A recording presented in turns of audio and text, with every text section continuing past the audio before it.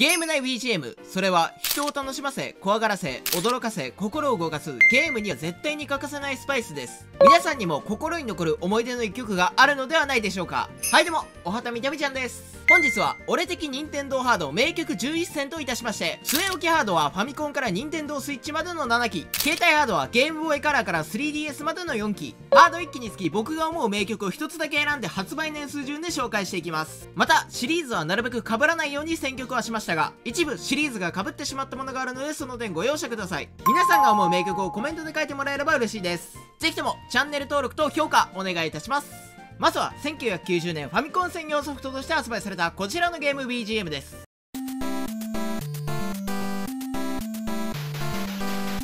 ワンパクダック夢冒険アマゾンステージ。こちらは1990年カプコンから発売されたアクションゲーム。ドナルド・ダックのうちであるお金持ちのスクルージ・マクダックがさらなるお金を求めてステージ内の財宝を集めていきます。現在紹介している BGM はアマゾンステージ。ポップで明るい曲調はこれから始まる冒険にさらなる好奇心を与えてくれます。この曲を選んだ理由はカプコンらしさディズニーらしさ両方のいいところを残しつつアクションゲームにぴったりのアップテンポな曲調でプレイヤーの楽しみを助長してくれるからです。またゲームをプレイしてなくても曲を聴いてるだけで楽しい気持ちになってきませんか？他にもこのワンパクダック夢冒険にはヒマラヤステージや月面ステージなど様々な神 BGM でプレイヤーを楽しませてくれるので機会があればぜひ遊んでみてください。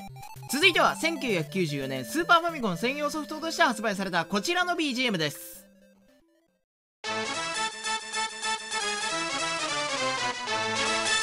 極上パラデュース in the クレーンゲーム。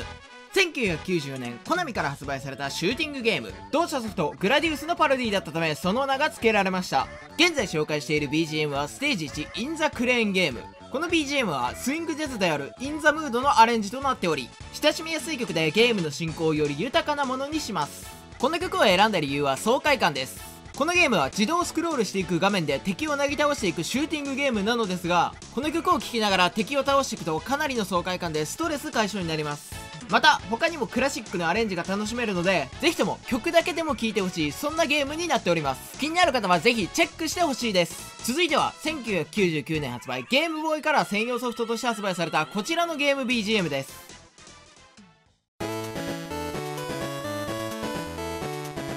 マリオゴルフ GB タイトル BGM 別名メインメニューとも呼ばれている BGM で当時の携帯機とは思えないような音の豪華さでこれから始まる物語に大きな期待を持たせてくれます。今でも人気を誇るマリオゴルフシリーズ初の携帯機種で歴史を感じられる一作なのでぜひともプレイしてみてはいかがでしょうか。続いては2000年発売任天堂64ソフトとして発売されたこちらのゲーム BGM です。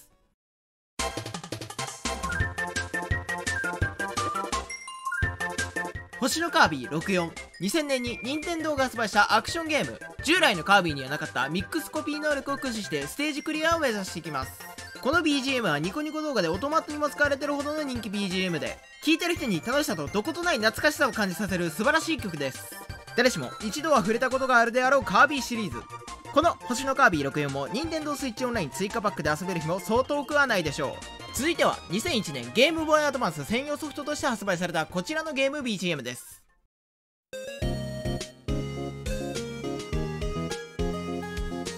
逆転裁判綾里迷い逆転姉妹のテーマ。2001年カプコンから発売された法廷バトルアドベンチャー逆転裁判の中で流れた BGM 推理ゲームといえば殺伐とした空気感で犯人を追い詰めていくため曲調も暗かったり焦るようなものが多くなるのですがこの BGM は明るく楽しい曲調で曲のタイトル名通り逆転裁判のヒロイン綾里迷いをそのまま曲にしたような BGM で聴いててとてもワクワクします。BGM だけでなくゲームの内容もとても面白い内容になっているので興味のある方はぜひプレイしてみてください。続いては2003年ゲームキューブ向けに発売されたこちらのゲーム BGM です。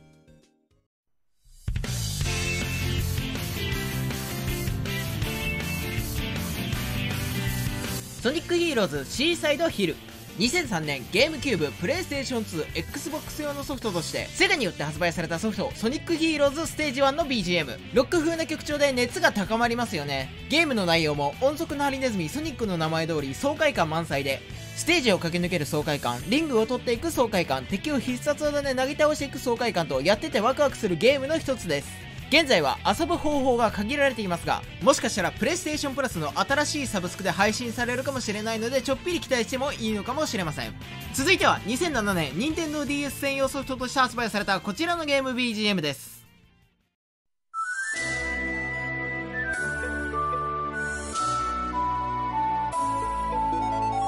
ポケモン不思議のダンジョン時闇空の探検隊決戦ディアルガ闇のディアルガとの戦闘時に流れる BGM この曲はこのゲームのメインテーマ時の歯車のメロディーを取り入れており自らの運命を悟った主人公たちの勇気と覚悟が現れた。まさにラストバトルにふさわしい曲だと思います。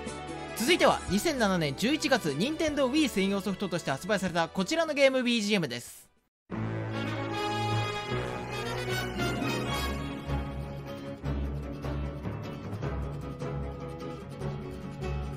スーパーマリオギャラクシーウィンドウガーデン2007年11月、任天堂が発売したスーパーマリオギャラクシーの中のステージ、ウィンドガーデンギャラクシーで流れた BGM。マリオのオーケストラといえばこの曲を真っ先に想像する人も多いでしょう。宇宙という壮大な世界観に引き劣らない壮大な曲調。広い宇宙を華麗に冒険していくマリオの心情を曲にしているようで、聴いてるこちらまでマリオになって冒険をしているような気分にさせてくれます。スーパーマリオギャラクシーは期間限定で発売されていたスーパーマリオ 3D コレクションで遊べました。今も Amazon 等で取り扱っているので興味のある方は調べてみてはいかがでしょうか。続いては2015年任天堂 Wii U 専用ソフトとして発売されたこちらのゲーム BGM です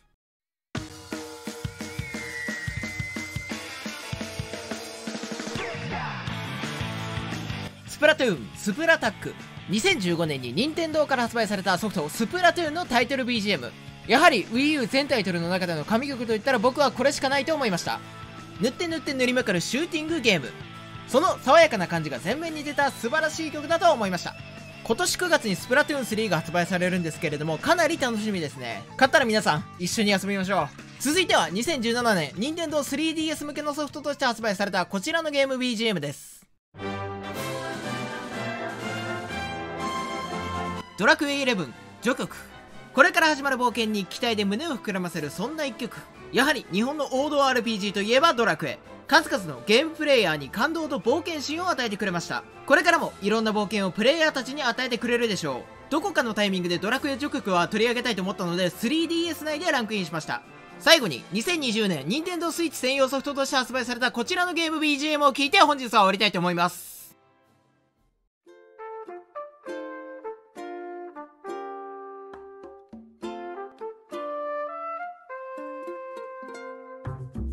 集まれ動物の森。みんな集まれ。2020年に任天堂が発売したソフト集まれ動物の森のタイトル BGM 優しく温かいスローライフが楽しめるこのゲームのタイトル曲にふさわしい。心温まるのにどことなく漂う切なさもまたいい味を出しているそんな一曲。今のご時世どこかでピリピリしたりイライラすることもあるかと思いますがこのゲームをプレイして優しい住民に心打たれてみてはいかがでしょうか？ということで今回は俺的神曲11選を紹介しましたが素晴らしい曲ばかりで聴いててワクワクしました。今後もアンチパイらしいスクリーン動画ゲームの都市伝説黒い任天堂などゲームの裏側動画を上げていきますので興味のある方はぜひチャンネル登録と評価の方よろしくお願いいたします。ではまた次回の動画でお会いしましょう。おつたみ。